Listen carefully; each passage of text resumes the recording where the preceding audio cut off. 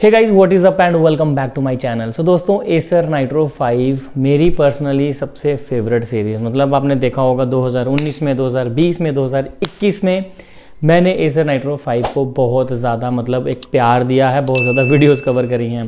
And now it's 2022 and Acer Nitro 5 की updates हमारे पास आए हैं एज़ पर C E S twenty well well, इस वीडियो में मैं आपको काफ़ी अच्छी अच्छी चीज़ें कवर करके बताऊँगा एसर नाइट्रो 5 की जो कि 2022 में आने वाला है। सो मेक श्योर आप इस वीडियो को एंड तक ज़रूर देखें।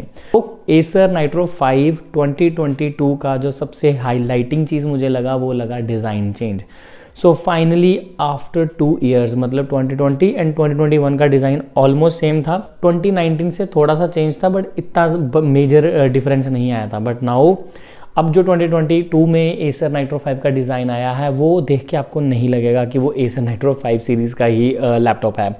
मैं आपको बताता हूँ क्या मेजर चेंजेस हैं। सबसे पहला चेंज आप देख सकते हो, जो आपकी डिस्प्ले है, वो थोड़ी सी अपलिफ्टेड है।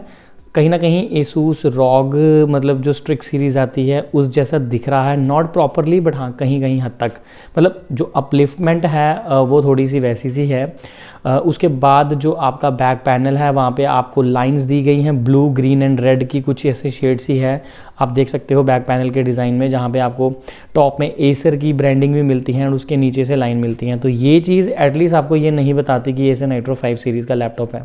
तो ये डिज़ाइन चेंज मुझे इंटरेस्टिंग लगा एंड काफ़ी ज़्यादा ब्यूटीफुल भी लगा। तो डिज़ाइन चेंजेस थोड़े से इंटरेस्टिंग ज़रूर लग रहे हैं। उसके बाद जो मेजर डिज़ाइन चेंज है, दोस्तों, वो पोर्ट्स की प्लेसमेंट को लेके है। आप यहाँ पे देख सकते हो पोर्ट्स अब पीछे की तरफ़ शिफ्ट कर दिए गए हैं, जहाँ पे 2020 एंड 2021 में हमें पीछे की तरफ़ सिर्फ़ पावर इन पोर्ट देखने को मिलता था बट यहाँ पे अब आपको जो है थंडरबोल्ट 4 और एच पोर्ट भी देखने को मिल रहा है एंड बाकी पोर्ट्स अपनी ही जगहों पे हैं जो आप देख सकते हो विद एलईडी इंडिकेटर्स सो ये कुछ विजिबल चेंजेस हैं जो मैं आपके साथ फ़िलहाल के लिए डिस्कस कर सकता हूँ, बाकी चीज़ें तो खैर जब लैपटॉप हाथ में आता है, उसके बाद ही डिस्कस की जाती हैं, जो कि इतनी जल्दी नहीं होने वाला. वाई बिकॉज़ कहीं मार्च अप्रैल में जाके ये यूएस वगैरह में लॉन्च होंगे मॉडल्स एंड इंडिया में आते आते आई गेस क्वार्टर टू का एंड आ जाएगा फिर जाके कहीं इंडिया में आपको देखने को मिलेंगे। ये मेरे एस्टिमेट्स हैं वेल well, अभी जल्दी भी हो सकती हैं ये चीज़ें depending upon the covid situation well जो सबसे इंटरेस्टिंग चीज़ है दोस्तों वो है स्पेसिफिकेशंस ऑब्वियसली जो आपको स्पेसिफिकेशंस मिलेंगी वो इंटेल और एनवीडिया के कॉम्बिनेशन के साथ ये कुछ वेरिएंट्स लॉन्च करेंगे and then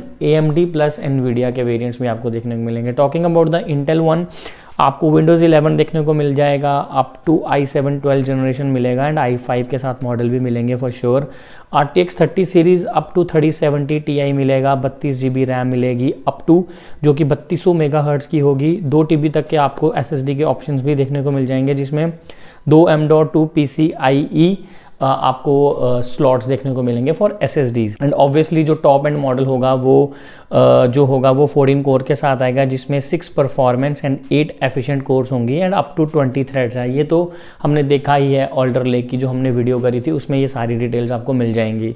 तो जो राइजन वाले मॉडल्स होंगे, उसमें आपको Ryzen five sixty six hundred H and Ryzen seven sixty eight hundred H के साथ वेरियंट्स मिलेंगे।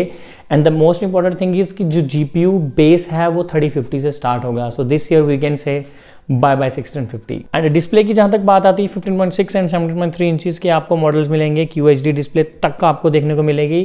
तो यानी फुल एच डी के भी मॉडल्स होंगे क्यू एच डी तक आपको मैक्सिमम देखने को मिलेगा।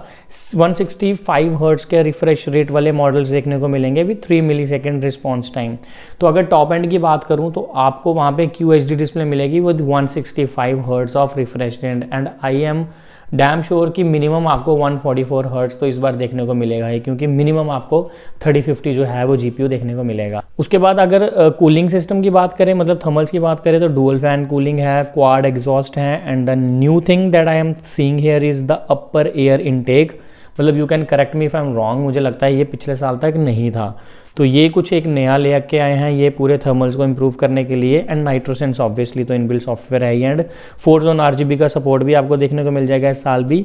एंड पोर्ट्स मैंने आपको बताया था शिफ्ट हुए हैं। The main highlight is obviously the Thunderbolt four support and उसके अलावा वही U S B three point two generation two type A then three point two generation one type C then H D M I भी आपको देखने को मिल जाएगा। सो so, या yeah, uh, ये है ओवरऑल स्पेसिफिकेशन मत, मतलब अगर मैं कंक्लूजन की तरफ़ बढ़ूँ एंड आपको समझाने की कोशिश करूँ कि what is new in this air is obviously the design part मतलब डिज़ाइन बिल्कुल चेंज किया गया है। मतलब एक ड्रेस्टिक चेंज इसको बोलते हैं ना मतलब जो आपको ये बता दे कि येस नाउ 2020 टू में जो एसन नाइट्रो फाइव है, वो एसन नाइट्रो फाइव नहीं लग रहा।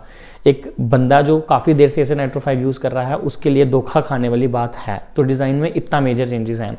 दूसरी सबसे इंटरेस्टिंग चीज़ यही है कि Ryzen six thousand and Intel 12 generation में अपग्रेड किए गए हैं with R T X thirty series. And minimum जो आपको देखने को मिलेगा that is R T X thirty fifty and I am damn sure कि 144 forty four hertz refresh rate के साथ ही आपकी डिस्प्ले जो है पैनल स्टार्ट होने वाले हैं। सो so बस यही है फ़िलहाल कुछ अपडेट्स आपके लिए एंड कब इंडिया में आएगा, कैसे लॉन्च होगा, वो तो खैर आपको हमारे चैनल पर पता चलता ही रहेगा तो उसके लिए आपको चैनल को सब्सक्राइब करना पड़ेगा एंड वीडियो को लाइक तो मिलते हैं फिर किसी वीडियो में, फिर किसी ऑप्शन कंटेंट के साथ अब तक के लिए जय Hind thanks for watching thanks a lot